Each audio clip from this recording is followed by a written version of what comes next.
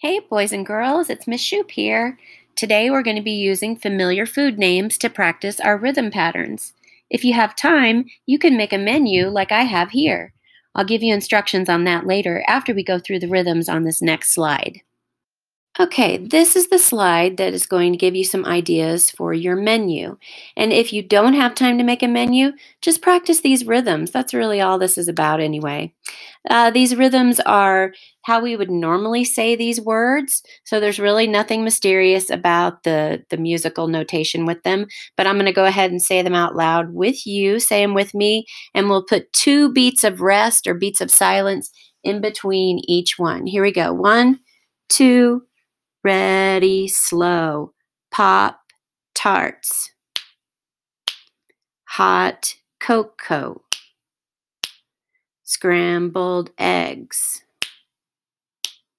chicken nuggets, pork tenderloin, cinnamon bun, strawberry jam,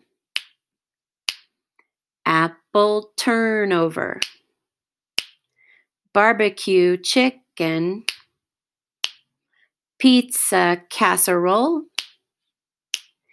carrot sticks and dip, beef ravioli, Rice crispy cookies, pancakes, maple syrup, cinnamon applesauce.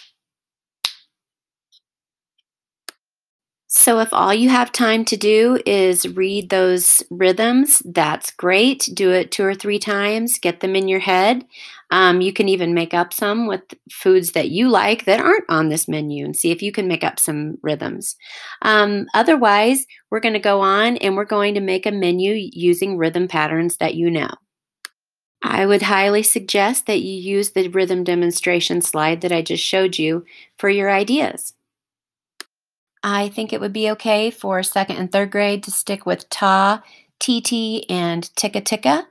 And those are typically found on the first and third rows of that slide with the food pictures on it. And fourth and fifth grade can do them all. You can be as creative as you want with your menu. I even gave my cafe a name. Uh, I have three specials today, and I'm going to read them off to you. Today's specials Pop tarts, hot cocoa, cinnamon bun. I hope you liked today's lesson. Share your ideas with me on Dojo.